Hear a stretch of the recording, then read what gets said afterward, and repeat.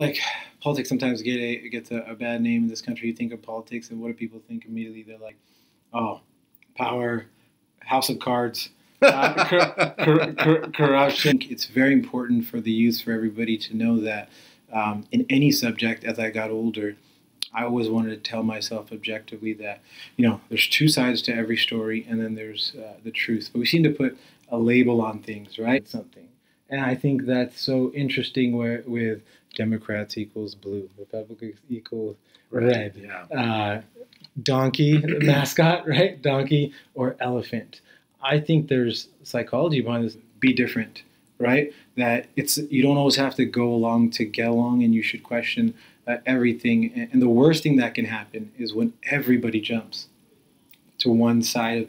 And our First Amendment is to you know protect unpopular speech not to protect popular speech. You know, we all want you know we all want to belong to That's some it. respect, and I think that uh, we all want to be near people who think like us. Mm-hmm. And I think as long as you could provide a label, uh, so people could gather and feel safe in their in their beliefs, uh, I think that's what people feel comfortable with.